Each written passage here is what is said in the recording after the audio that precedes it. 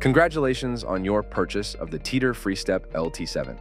If you have any questions or need any help along the way, don't hesitate to contact Teeter customer service at the number on your screen or visit teeter.com slash support for live chat assistance.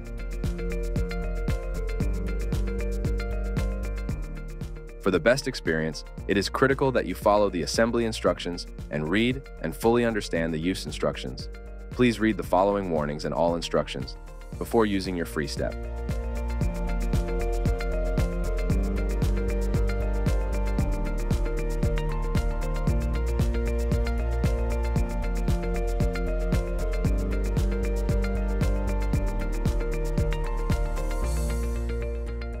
Before getting started with assembly, first unpack and prepare your workspace. Follow the instructions on the outside of the box for the easiest unpacking process. If possible, assemble the equipment at or near the space in which you intend to use it to avoid moving it later and ensure you are near a power source. Unpack all parts and support materials. Set aside packing material and clear your work area. Locate the hardware kits inside the box. They are labeled to correspond with the assembly process. Step 1. Assemble console support bar. Note, the front, back, right, and left of the equipment are labeled on page 3 of the assembly instructions. Always hand tighten all bolts or screws in each step before fully tightening with the wrench or screwdriver. Important, do not pull or pinch the console wire during the console support bar installation. Insert console support bar into the base. Use the Step 1 hardware kit to attach the console support bar. Insert four bolts and four washers and hand tighten. Proceed to fully tighten the bolts with the 6mm Allen wrench. Carefully connect the console wires. Step 2. Assemble rear stabilizer. Lift the rear base and tilt the FreeStep forward so the console support bar is resting on the ground. Use the 6mm Allen wrench to remove the three bolts and two washers and one wood block from the base. Discard the hardware and wood block as they are for shipping purposes only. Important. All three bolts shown must be removed for the flywheel to move freely during use. Use the Step 2 hardware kit to attach the rear stabilizer. Align the rear stabilizer with the rear of the base and hand tighten two bolts and two washers. Proceed to fully tighten each bolt with the 6mm Allen wrench. Once the rear stabilizer is assembled, return the FreeStep to the upright position by lifting up on the console support bar until the rear stabilizer is resting on the ground. Step 3. Assemble console to console post. Important, do not pull or pinch the console wire during installation. Connect the console wire between the console post and the console. Use the Step 3 hardware kit to attach the console to the console post using the four screws and hand tighten. Proceed to fully tighten all the screws with the Phillips screwdriver. Step 4. Finish console assembly.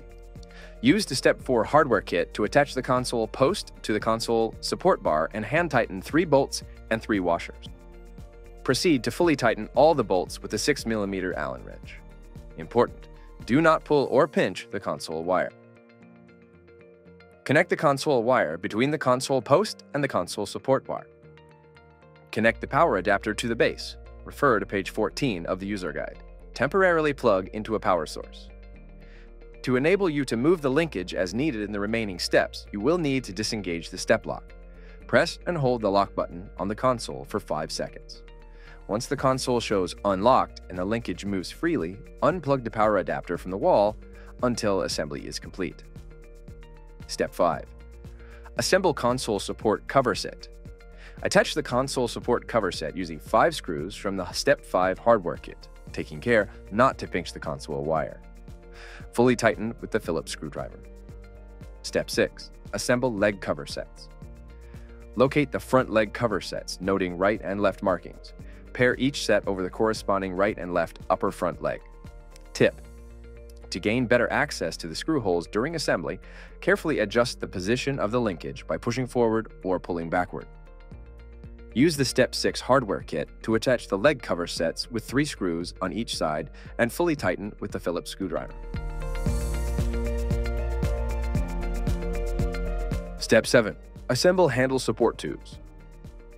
Locate the handle support tubes, noting right and left markings. Align the handle support tubes onto the top of the forward pivot arm. Use the Step 7 hardware kit to attach the handle support tubes using 5 bolts on each side and hand tighten them.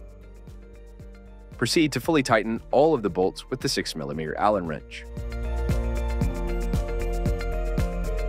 Step 8. Assemble lower seat. Locate the Step 8 hardware kit.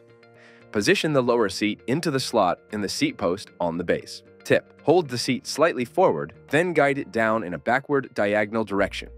When properly aligned, the round rod, actuator, that protrudes out of the lower seat will need to rest inside of the mechanism in the seat post slot.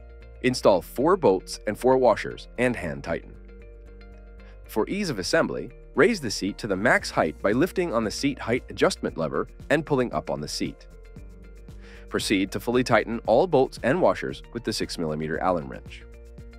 Position the FreeStep to rest on its back by lifting on the console support bar until the seat handles are resting on the ground. Note, transport wheels will engage when lifting the console support bar. Use caution to avoid unintentional movement. Step 9. Assemble pedals. Locate the pedals, noting right and left assembly stickers. Insert the pedals into their respective linkage arms. Hand tighten 4 bolts and 4 washers from the Step 9A hardware kit. Hand tighten 8 screws and 8 washers from the Step 9B hardware kit. Proceed to fully tighten the bolts with the 6mm Allen wrench and the screws with the Phillips screwdriver. Once the pedals are assembled, return the FreeStep to the upright position. Step 10. Assemble seat back. Locate the Step 10 hardware kit. Insert the seat back assembly into the housing behind the lower seat and hand tighten 4 bolts and 4 washers. Proceed to fully tighten all of the bolts with a 6mm Allen wrench. Step 11. Assemble seat pivot cover set. Locate the seat pivot cover set, noting right and left markings. Use the Step 11 hardware kit to attach the seat pivot cover set behind the lower seat. With the Phillips screwdriver, fully tighten two Phillips screws and two Phillips bolts. Step 12. Assemble forward pivot cover sets.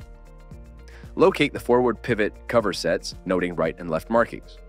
Use the Step 12 hardware kit to fully tighten four Phillips screws on each side using the Phillips screwdriver. Tip.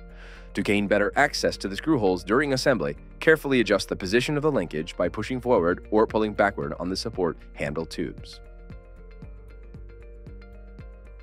Step 13. Finish handle assembly. Locate the handles, noting right and left markings. Open the handle cam locks and insert the handles while aligning the groove with the arrow on the bottom of the open. Once in the desired position, close the handle cam locks. Note, refer to the user guide for more information on handle positions. Congratulations, your FreeStep is now fully assembled.